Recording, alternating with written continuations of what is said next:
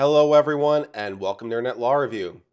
For today's story, I am doing a follow up on a previous video, and I'm going to cover three problems I do see with grand juries. In my prior video, link below, I reviewed an article discussing Chelsea Manning and grand juries, and I discussed why the problems that Chelsea Manning was referring to were, in my view, not problems at all. Does that mean that grand juries are great? Not necessarily. So in this video, I'm going to explore some of the downsides that there are with grand juries so we can have a more well-rounded picture together. Issue number one, grand juries have too much consolidated power. It's not that grand juries can do anything that anyone else can't do. It's that they can do a whole bunch of things that a lot of other people can do. When grand juries fell out of fashion, their powers didn't go away, as I explored in the prior video. Their powers became more diffuse. They got shared among professional police forces, among prosecuting attorneys, and among courts. And the problem with grand juries is that it consolidates a lot of those powers in the same place, and they have no one to check them. A grand jury process, unlike the process of a petit jury that tries to determine guilt or innocence, is not held before a judge. It is typically 23 average ordinary citizens just by themselves, no judge, and the only lawyer there is the prosecutor. And they don't need the review from anyone else to do things. So if you're a police officer and you need a search warrant, you need to go ask a judge. If you're a grand jury and you want a search warrant, you just write one because you can. This is one of the things you get to do. So one of the problems is simply that it has too much consolidated power. Problem number two, grand juries are amateurs. One of the advantages of our modern legal system is that we have created new professional systems.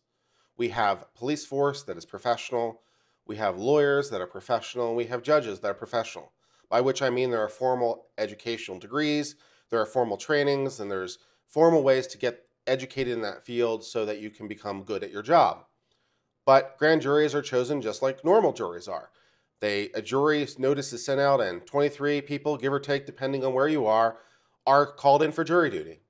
These are people with no particular knowledge or training, and yet suddenly they're given the power to subpoena witnesses, subpoena documents and do investigations, things that police, prosecutors, and judges would otherwise have the power to do. For whatever problems that the police may have, and that's not to say that there aren't any, there are many good things about police and the professional systems that we have. When you ask a whole bunch of amateurs to suddenly wield this great amount of power, it can go off the rails. In fact, one of the biggest problems with grand juries is this going off the rails phenomena. Not only can grand juries explore beyond the scope of the present investigation, they can expand the investigation itself. So there have been instances in grand juries where not only are they suddenly calling witnesses and seeking documents that are tangential as best to the present case, the grand jury decides that they want to investigate something completely different. So an example might be a prosecutor comes to them with a complaint against someone that someone's robbed a bank. And as part of their investigation, they uncover bank records, which suggest that there's some sort of financial fraud, and suddenly we're investigating that, and so forth and so forth and so on. And so it can just have a potentially unlimited scope, and it can really go bad when citizens without any education suddenly try to be amateur detectives or amateur lawyers or amateur judges. Sometimes it does not end well. Fortunately, in our modern legal system, we've created a whole bunch of rules to prevent grand juries from doing this, but still, even with the rules in place, they can expand the scope of inquiries beyond what is relevant to reach the kind of decision they are. And grand juries have been known from time to time to try to have the entire guilt or innocence trial in the grand jury setting, which isn't their role or purpose. So sometimes they go beyond their scope, beyond their mandate, and that is a problem that is mostly due to the fact that it's run by a group of ordinary citizens, amateurs, without any particular education or knowledge. All you have to be to be a juror is 18 and a citizen uh, citizen of the United States. No particular education required, so you know, you give this kind of power to this kind of people and you can see where it can go wrong. Problem number 3. Grand juries in the state system can be used by the government to help diffuse responsibility. This is not as much a problem in the federal system, and it's probably because under federal law, specifically the Fifth Amendment to the Constitution, grand juries are required for so-called infamous cases, which has been translated to be felony cases. So in the federal system, attorneys have to go to grand juries all the time because they don't have any choice. As a result of that, it's a much more professional environment and there's not that the kind of bias or temptation that there might be otherwise. However, states don't have to have grand juries. The United States Supreme Court, when it was deciding incorporation with respect to grand juries, decided incorporation was not something that applied to grand juries. And again, I'll link below to my prior video discussing incorporation so you can learn more about that topic. But long story short, individual states do not have to have grand juries if they don't want to. So why would a state have a grand jury?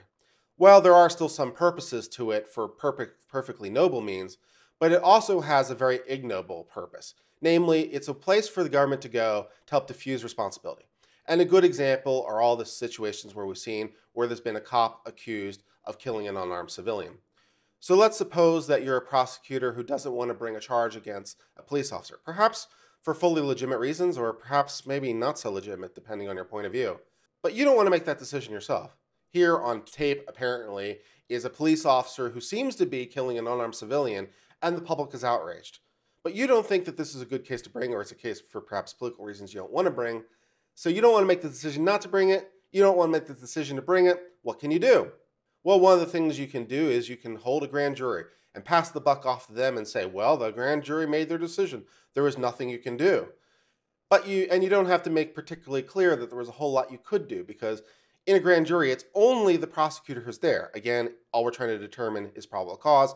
So there's no defense lawyer there because that process will come later. So the only person who's there presenting evidence is the, is the prosecutor, which means the prosecutor gets to choose what kind of evidence they want to present and they can soft pedal their case and they can call witnesses who have evidence contrary, evidence that would suggest that this person shouldn't be charged. Again, there's no obligation at a grand jury stage to preclude to provide any sort of uh, exonerating evidence. That's not the point of it because the threshold and standard we're trying to reach is real low. But if you don't want the grand jury to reach the conclusion that a charge should be entered, you can present all the exonerating evidence you want. There's nothing stopping you from doing it.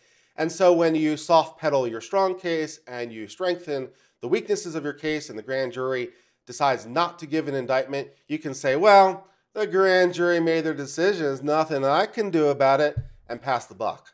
But even if you do want to bring criminal charges, grand juries can still be used to diffuse blame, and perhaps we're seeing that right now in the Jussie Smollett case. I don't know Illinois law specifically enough to know for sure, but I would suspect Illinois law does not require grand juries for any particular time. Yet the 16 recent felony counts that came came from a grand jury. So if I'm correct in my assumption that grand juries are not required by Illinois law, but they still used a grand jury, why would that be true? And the answer would be again to diffuse blame. This is a highly tense situation. There's a lot of racial tension in the air, in the air, and uh, Chicago is a city with a heavy minority population. So there might be a lot of people who don't want charges to be brought for a whole bunch of uh, reasons that may not be legitimate from the law, but may be legitimate from a historical point of view. So perhaps the population of your town is not particularly thrilled with the idea of bringing criminal charges in this case, despite the fact that it, it does appear to be a crime and the evidence does appear to be strong, and it does appear to be a violation of law. Maybe for political reasons, the town would prefer you not bring criminal charges. So the law suggests you should bring criminal charges. The politics say you shouldn't. So what's one thing you can do? And you can pass the, grand, the buck off to the grand jury. You go to the grand jury and you make your strongest case possible. So you're doing exactly what you should be doing at the grand jury, but you get them to issue the indictment so you can say again, well, it was the grand jury who issued the indictments. I'm just a lowly public servant. There's nothing I could do about it. And you don't have to make particularly clear that there was a whole lot you could have done about it. And again, it's a way to diffuse blame. So those three reasons, along with general inefficiency, is the reason that grand juries are used very seldom in the world today. In fact, there's only two countries in the world that use grand juries at all Liberia and the United States.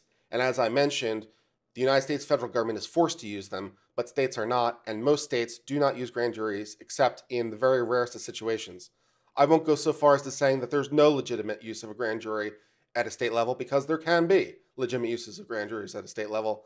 But as I've hopefully illustrated, there is also a temptation to use them for perhaps political purposes of, of passing the buck and diffusing responsibility. So those three reasons combined, I think, are valid criticisms of grand jury and are the reasons that grand juries are not used by most states or most of the world today. For now, my friends, that is all. I hope you're well. Until later, cheers and goodbye.